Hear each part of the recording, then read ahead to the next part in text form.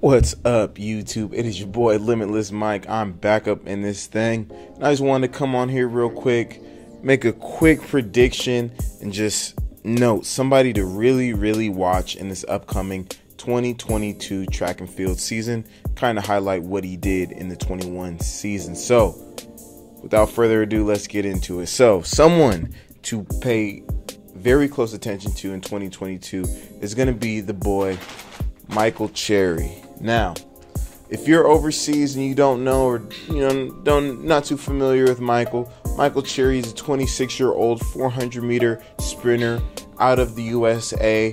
He did his college over at LSU and had a great career. He was a two-time NCAA champion in the 4x4 um, and has been running on the pro circuit, circuit for a few years now. Now, the interesting thing that happened for Michael Cherry in his career this year is that this guy put together a season of 14 consecutive 44 second 400 meter dashes. That is crazy. He started off the season at a 45 like back in May and then from you know the middle of May until September every race that he ran he ran a 44 second 400 meter dash 14 straight now, that ties him for third all time uh, longest streak. Uh, number one is Roberto Hernandez. He was able to put together 16 400 meter dashes under 45.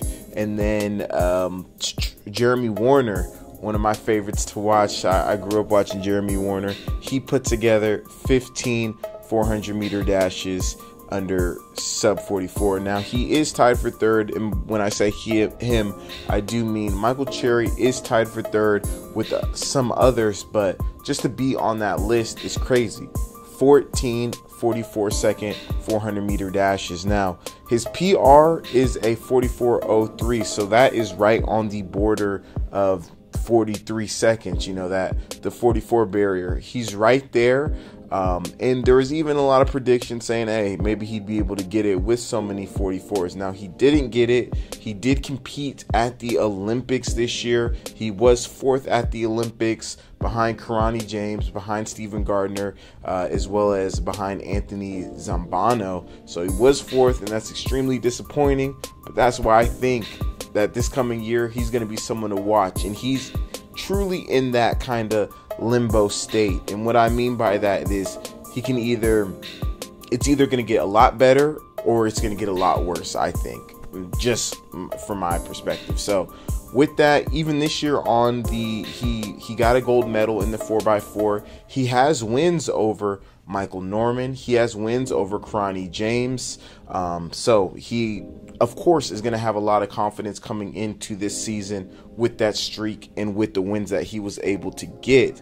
Now, people that he would have to beat to be the Olympic champion or to really not the Olympic champion, but to have a successful 2021, um, be on the podium or be the world champion, is he's going to have to beat Steven Gardiner. Steven Gardiner is this year's Olympic champion. He broke 44 seconds. He had a 43.60 or 43.70.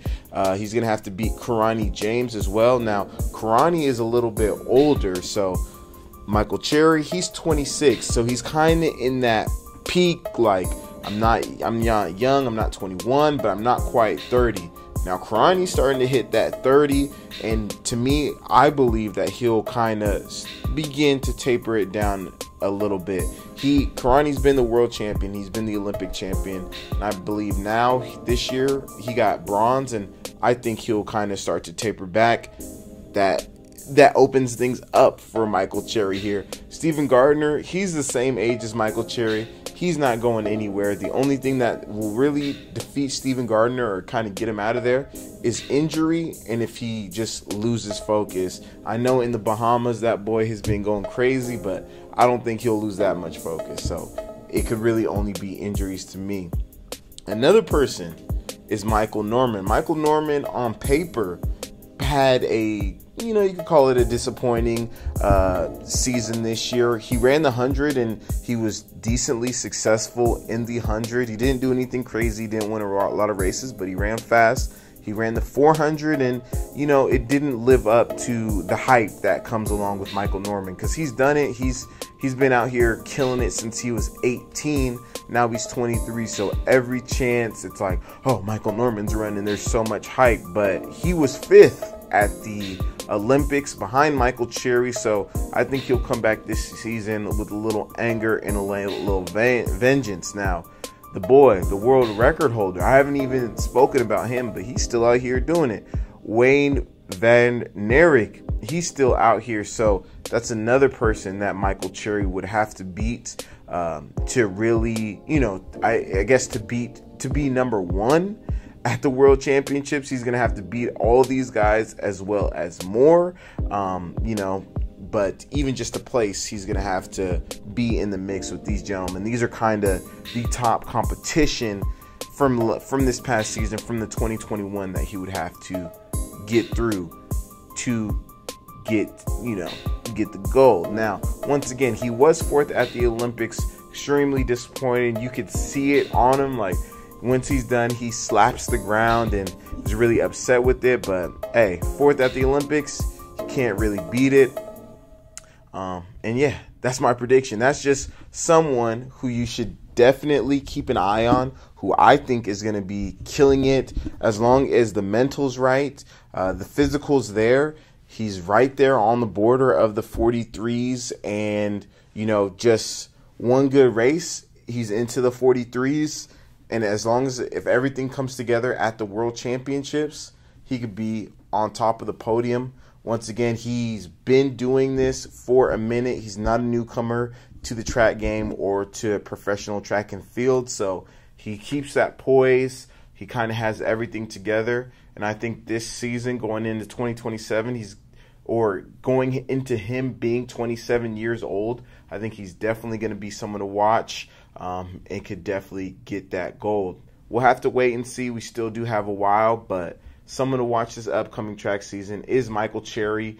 And if you haven't, like, if you don't know about this, if you didn't know about his 44 second streak, go back, watch some of the races, watch him at the Olympics. Um, just search up Michael Cherry track and field and watch some of those races because once again, he got a lot of wins this season and, and ran under 45 14 times in a row. So go back and watch, and y'all let me know. What do you think? Could he be? Could he get to the top spot? Do you know anything about Michael Cherry? Could he get to the top spot? Y'all let me know what you think in the comments. And one other thing, if anybody, if you made it this far in the video, one, I love you, I fuck with you, and I salute you. I definitely appreciate that. But two, I just want you to check this out. This is from a brand that I work on or work with. This is Limitless Apparel, Limitless Athletics. Here's some of our stuff. I'm gonna leave it in the bio, my, in the bio, or I'm gonna leave it in this video. Here's some pants, but here's all new gear that we're dropping. We are a sportswear company.